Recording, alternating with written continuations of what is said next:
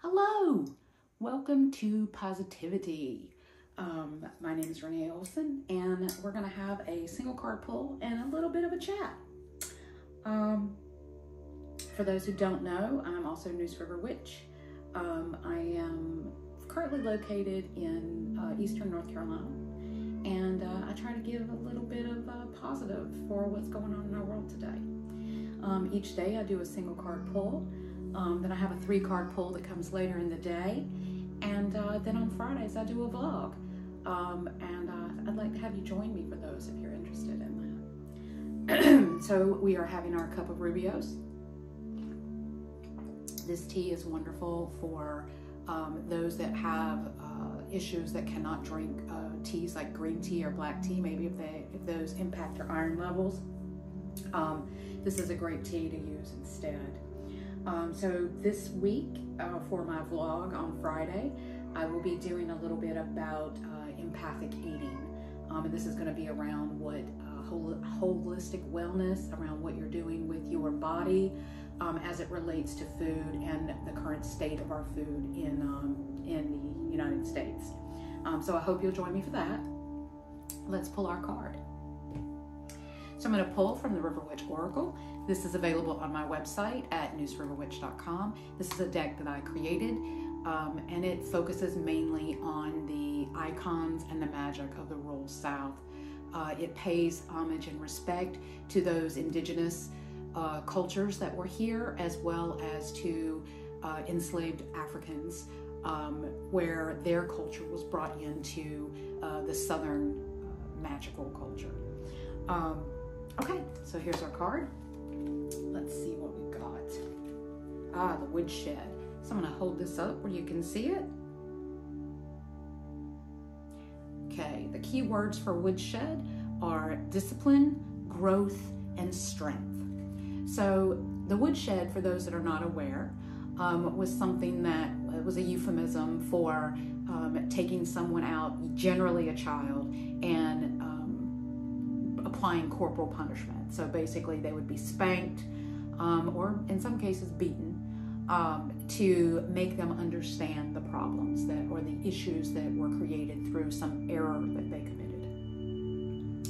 I think what a lot of, of uh, parents specifically uh, forget is that the word discipline it's it is also part of disciple, which means to teach, and generally speaking, so when you think about this, and and I'm, I know I'm going down a slippery slope here when I start talking about corporal punishment, um, but if you started a job, right? Let's say you started a job and you weren't really familiar with how to do the tasks at the job that you're working at. You're a grown adult, and sometimes the language that was being spoken and the directions you were given you didn't really understand. Like maybe they used words you didn't know, or they um, wanted you to complete a specific task and you didn't know how to do it. Um, and when you made a mistake, instead of being told what you did wrong and discussing it with you to help you understand the right way, which would be teaching, um, the person who was guiding you just walked up and, and punched you in the mouth.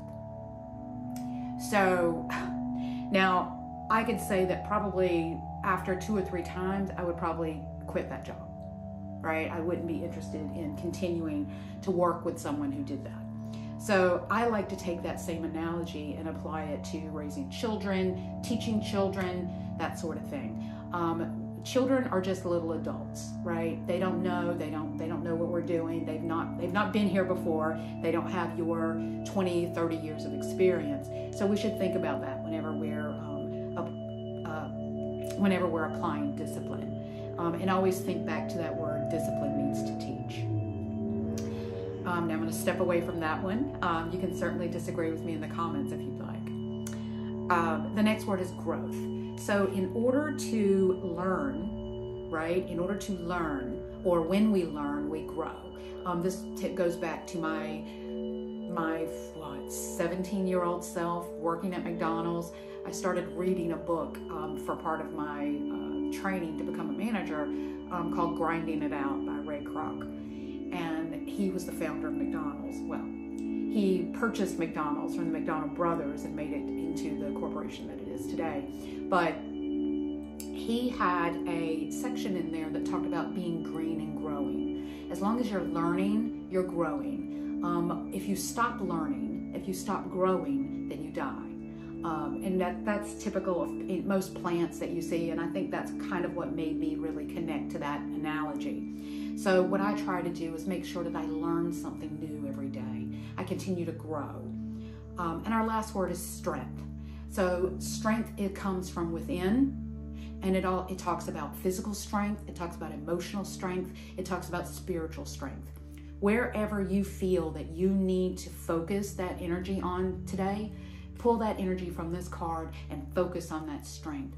Develop in you know if you're wanting to learn um, to, to help motivate your your career or your connection to family or your connection to the deity that you happen to follow. Focus on that strength and connect to that energy. So that's our card for today. Um, i hope you've enjoyed it.